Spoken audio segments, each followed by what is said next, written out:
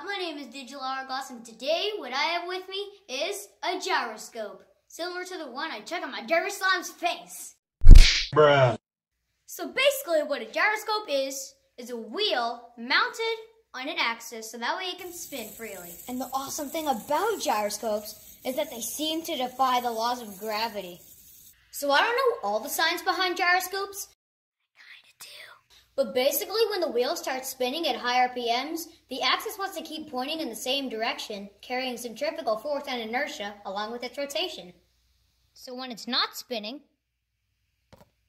ask you how you are, you just have to say that you're fine when you're not really fine, but you just can't get into it because they would never understand. Now, my gyroscope didn't come with a string, so I just cut some paracord. And because paracord has little strings inside, I use one of those.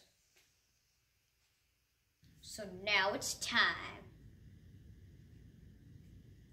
for some tricks.